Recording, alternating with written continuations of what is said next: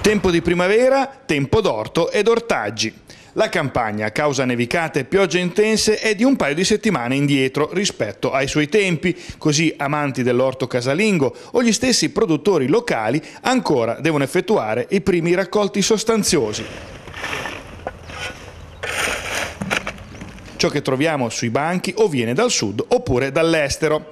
Ma che cosa cova sotto la cenere, anzi per dire sotto la serra? Quali sono i prodotti da piantare in questa stagione e quali sono quelli che con i tempi della natura poi ci ritroveremo fra poco sui banchi di frutta e verdura?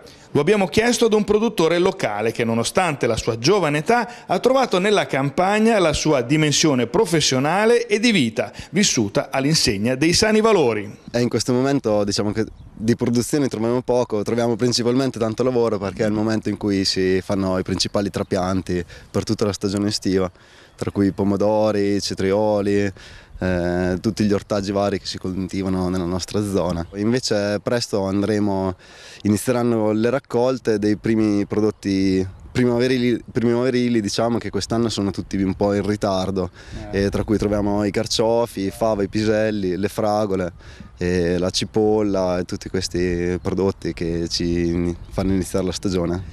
Invece insalate, foglia larga, cosa c'è? Eh, si possono mettere bietole, insalate varie, le romane, le canasta, tutte le varie insalate estive. In questo periodo qual è il consiglio? Cosa gli, cosa gli consigli di mettere giù? Eh, dai, pomodori o melanzane, e melanzane e peperoni ancora presto, però pomodori, cetrioli. Sul fronte della frutta qui siamo vicino a un frutteto, cosa avremo sui, sui nostri banchi? Eh dai, tutte le frutte, mm, dalle pesche, susine, albicocche, che comunque quest'anno hanno subito vari problemi tra malattia e, e, ritorni di freddo vari che ci sono stati. Eh, non è facile la gestione del frutteto. Acquistiamo frutta, verdura, possibilmente a chilometro zero, c'è tanta produzione qui nel nostro territorio, così almeno diamo una mano a chi come voi lavora e, si sacrifica tutti i giorni. Sì, eh, il lavoro in campagna non è facile, soprattutto per me che gestisco un'azienda biologica e è un po' sempre un terno all'otto portare una cultura fino alla raccolta completa.